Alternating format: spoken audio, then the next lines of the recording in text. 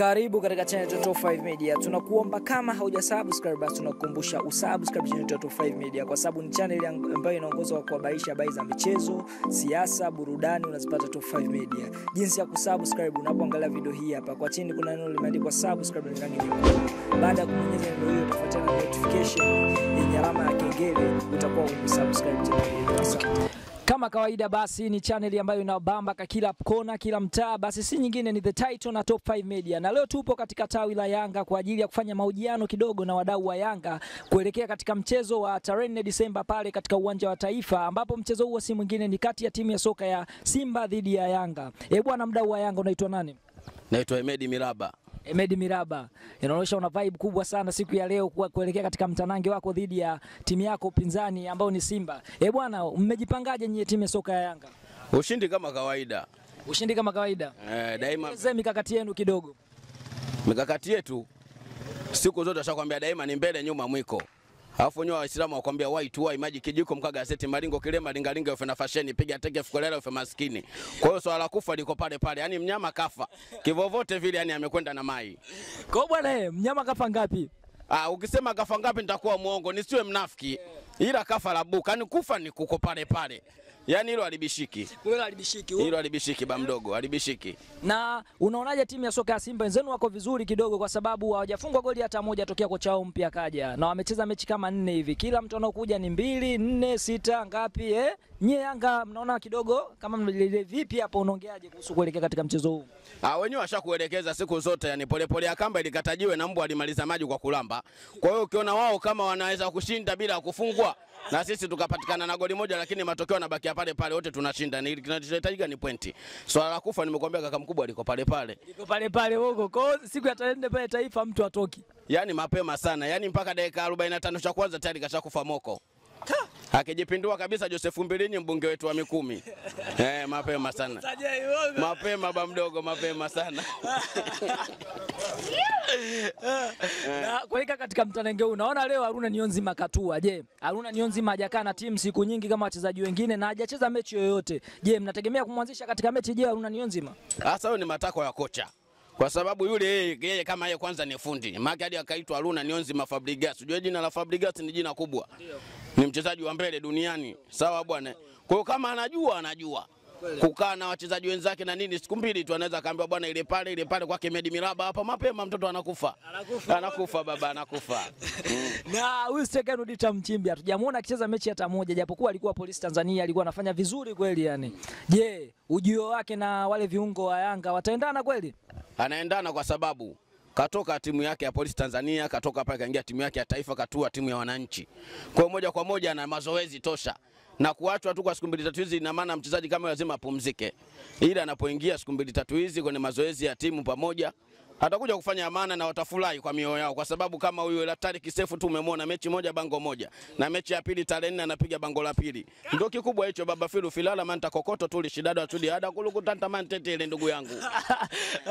Eh, umesikia kuelekea katika mtanange huu tumeona kuna wachezaji kama wawili watakosa mchezo huu mm. leo. Kocha wenu kasema kwamba Lamine Moro hatocheza mchezo wa dhidi ya Simba. Kwa nini?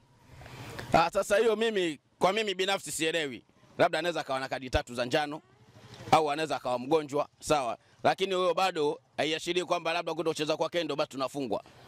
Ukiachana na huyo Lamine Moro, basi kuna mchezaji wenu Steka alikuwa anatia mbango nyingi sana, Moringa. Moringa aliwaokoa dhidi ya Polisi Tanzania, na yeye Moringa atakosa mechi dhidi ya Simba kwa kutokana na kitendo cha nidhamu alichokionyesha kibovu. Je, kutokana na mdau wa Yanga unashauri vipi ama ulichukuliaje hilo tukio kwamba atakosa mechi ya Simba baada ya Charles Boniface Mkwasa kumpumzisha kuto kucheza mechi hiyo? Unalionaje hilo?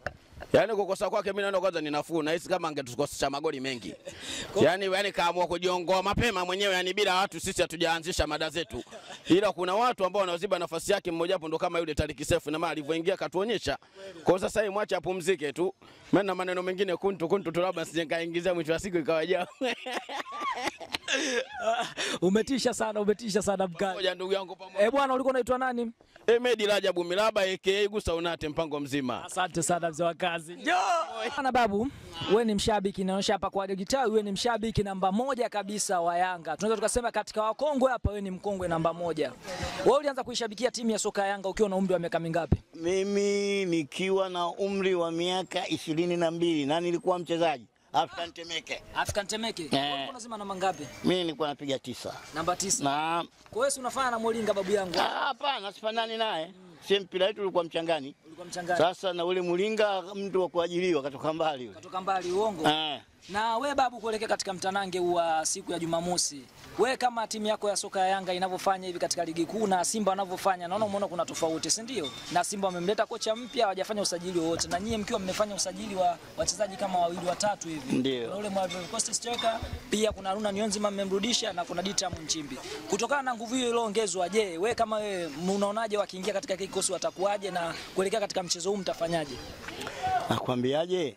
Panapofuka moshi pana moto. Pana moto. Naam. Kwa Yanga anatoa moto sasa hivi. Na ndivyo ilivyo. Na ndivyo ilivyo. Kwa hiyo pale mtu anakufa ngapi babu yangu? Ah, kufa ni kufa. Kufa, kufa. Eh, alotumbukia kwenye maji akizama akaibuka akishakufa kafa tu. Naye kafa. Eh. Ah. Eh. Kwa hiyo babu yangu Yala yala yala yala tunakwenda draw.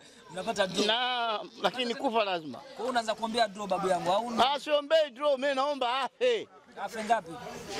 Goli hata likiwa moja inatosha. Pointi tatu muhimu. Eh, hebu fikiria tulikuwa chini bondeni huko. Mpaka tuna tunamshika nyuma hapa tunamkamata mkia. Sasa nyewe mlikuwa chini kule, si mlikuwa mjacheza michezo yenu, ndio mmeanza kumaliza viporo. Eh, tulikuwa ah, viporo hakuna viporo. Hakuna viporo. Zile ni mechi tukikuwa kiporo cha ugali kile. Na we babu yangu, baada ya kufukuzwa ukocha huyu Mwinyi Zahera, ulijisikiaje? Na ulijisikiaje? Maana Mwinyi Zahera akaisaidia timu ile kipindi kile inapata shida nini, eh, ulijisikiaje? Kaisaidia timu kosa, sio kufukuzwa.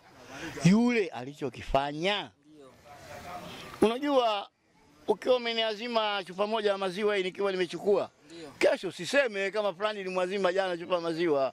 We vumilia. Sasa unakuja kuniazidi tena, wewe jana nilimpa maziwa ule, na vile kavikanywa, ndio maana sasa aibu ile Kwa ile aibu. ile ni aibu, kashwa.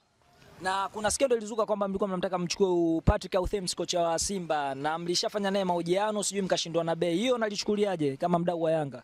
Mm, kama hiyo ilikuwa ni kweli, sina habari nayo, lakini hatuwezekani uchukue kocha wa hasimu wako alafu aje. Unajuaje hali yake ilivyokuwa, kuwa na mapenzi kiasi gani? Pengine anashawishiwa ende huko, alafu baadaye aroge tena, Kwa mnaogopa kurogwa na ndivyo ilivyo, anaweza akabadilisha tu taratibu.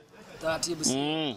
Kwa hiyo nyewe kama wadau hapa wa Yanga mmejipangaje kuhusu hii game? Maana nyie hapa sasa hivi mko Morogoro. Je, mtaenda kuiangalia Dar es Salaam au Hiyo kama kufa na kaburi na maiti, lazima watu waende wakaone mpira huo, kwa lazima mwendo? lazima kama kufa na kaburi na maiti, Ah, kwa hiyo mmejipanga vizuri, inaonyesha lazima mtu afe. lazima afe tu. Ah, basi naona mna vibe kweli babu yangu. Eh bwana, ulikuwa unaitwa nani? Mimi naitwa Rufungo Mashaka Ali. Ah, Asante sana. Hii ni Top 5 Media na The Title walikuja leo hapa mtaani kwako inshallah. Tena. Siku- Baada ya siku anapokufa Simba na uje tena uulize. Tawi la Yanga kwa maeneo ya mji mpya, na sasa hivi tupo na kijana ambaye huyu ni mjasiriamali, tunaweza tukamuita ni mjasiriamali. Mjasiriamali huyu yupo hapa katika tawi la Yanga, lakini anafanya biashara zake huku akiendelea kusikiliza mawaidha kutoka kwa wazee katika tawi lake la Yanga. Eh bwana, unaitwa nani? Naitwa Festo Balozi Sanga, Festo Balozi Sanga. Na wewe ni mshabiki kweli wa timu ya soka ya Yanga ni mshabiki ile kereketwa kabisa. uliokereketwa, lakini mbona umevaa kama jezi na nyekundu hivi fulani na weupe ambao ni jezi ya wapinzani wenu? Hii si sababu, wao jezi yao ni nyekundu kabisa na hii haina wekundu, inaita damu ya mzee. Hii ni damu ya mzee. Eh, E bwana, kuelekea katika mtanange wa siku ya Jumamosi, umejipangaje kama mdau wa Yanga na timu yako unaionaje? Hebu tueleze kidogo mikakati yenu. kama kawaida, sina pressure na timu yangu, kama vile tunavyojiamini siku zote, Yanga itabaki kuwa Yanga na wao kama wao. Siku ya tarehe nne tuna matumaini kabisa ya kushinda, kwa sababu tumejipanga, yani tumejipanga. E bwana, kutokana na leo tumeona mmempokea Haruna Nionzima. Haruna Nionzima hajakaa sana kwenye kikosi. Je, atafanya vizuri na kata hajakaa wenzake kwa muda kama siku ngapi huko, na mna mchezo Jumamosi, yani imebaki tu siku moja kuelekea katika mchezo. Je, ataweza kuendana na ule mfumo wa mwalimu? Siku zote sana zunguka kokote utakakwenda, lakini uto sawa nyumbani. Kasharudi nyumbani, Amerudi nyumbani, mipango yote ya nyumbani anaijua. anaijua Yeah. Kwa hiyo labda alikuwa amekaa sehemu nini, anaweka kadawa zake zile nini ama nini, yani kwa sababu hajakaa na wenzake sana.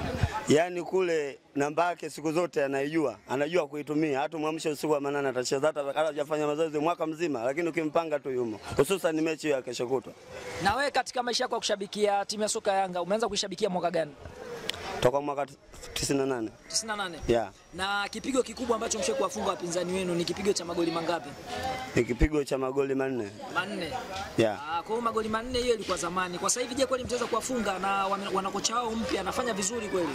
Kulingana sasa hivi wao washajichanganya kutoa kocha aliyokuwepo na kuingiza kocha mgeni, basi tunapitia hapo hapo hapa goli tatu tunapiga. Hata goli tatu mnapiga. Tunapiga. Kwa kujiamini kabisa. Kwa kujiamini kabisa. Amuogopi yule ukuta wao nini na wale viungo kama kuna kata, kuna Deo Kanda anakimbia sana pale. Hakuna cha ukuta, hakuna cha ukuta. Tuna watu ambao wana spidi hatari kama Tariq. Vile ulivyoona juzi alivyofanya mambo. Lakini ule akacheza mechi moja tu, amjampima sana, mjamwangalia, na ile ameingia baada ya Molinga kufanya makosa kidogo, ndo akaingia Tariki. Je, kutokana na yeye kuicheza hiyo mechi moja tu, mechi hii mtamwanzisha?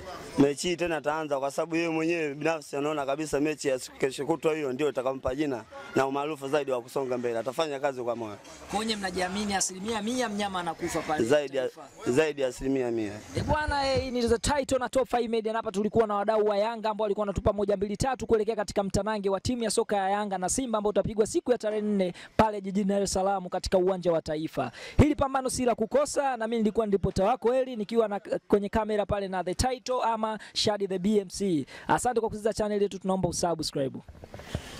Karibu katika channel ya Top 5 Media. Tunakuomba kama haujasubscribe basi tunakukumbusha usubscribe channel ya Top 5 Media kwa sababu ni channel ambayo inaongozwa kwa kuhabarisha habari za michezo, siasa, burudani unazipata Top 5 Media. Jinsi ya kusubscribe unapoangalia video hii hapa. Kwa chini kuna neno limeandikwa subscribe na rangi nyekundu. Baada ya kubonyeza neno hilo utafuatana na notification yenye alama ya kengele utakuwa umesubscribe channel yetu. Asante.